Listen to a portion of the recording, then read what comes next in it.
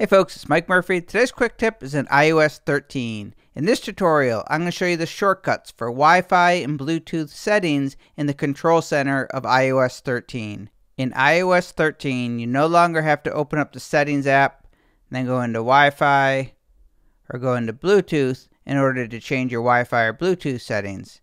In iOS 13, to access and change your Wi-Fi or your Bluetooth settings, open up the control center. I am on an iPhone X, so to open up the control center, I'm going to put my finger in the top right corner, up by the battery, and I'm just going to pull straight down. In the top left corner, you will see the utilities where airplane mode, cellular, Wi-Fi, and Bluetooth are. Long press anywhere in that box to expand that box open. To view and change the Wi-Fi networks and to access the Wi-Fi settings, all you need to do is long press on the Wi-Fi symbol and now you'll see all the Wi-Fi networks around you. You can change them.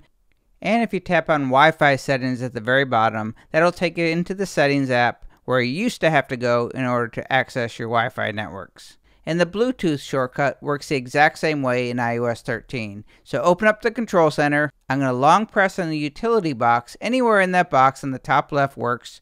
Now I'm going to long press on the Bluetooth and you can see I can quickly connect or disconnect from any Bluetooth device. And if I want to go into the settings, just tap on the Bluetooth settings. That'll open up the settings app. My name is Mike Murphy, and those are the new shortcuts for accessing your Wi-Fi and Bluetooth settings in iOS 13. Cheers!